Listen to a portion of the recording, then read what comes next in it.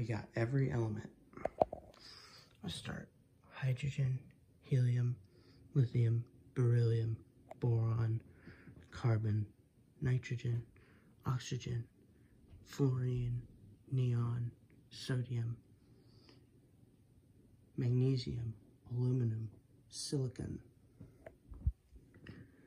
phosphorus, sulfur, chlorine, argon, potassium, calcium, scandium, titanium, vanadium, chromium, manganese, iron, cobalt, nickel, copper, zinc,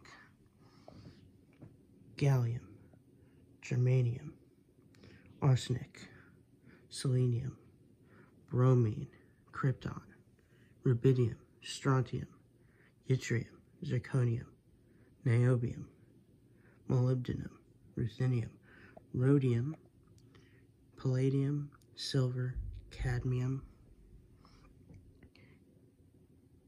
indium, tin, antimony, tellurium, iodine, xenon, cesium, barium, lanthanum, cerium, praseodymium, neodymium, samarium, europium, gadolinium, terbium, dysprosium, holmium, erbium, thulium, ytterbium. That's the lanthanides, okay? We have lutetium,